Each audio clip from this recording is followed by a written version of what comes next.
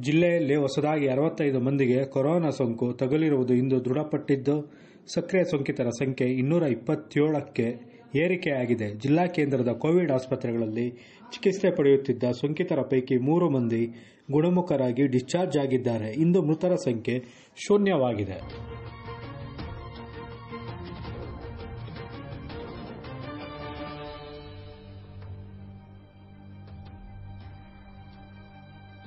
ಹೆಚ್ಚಿನ ಸುದ್ದಿಗಳಿಗಾಗಿ local news YouTube ಚಾನಲನ್ನು ಸಬ್ಸ್ಕ್ರೈಬ್ ಮಾಡಿ.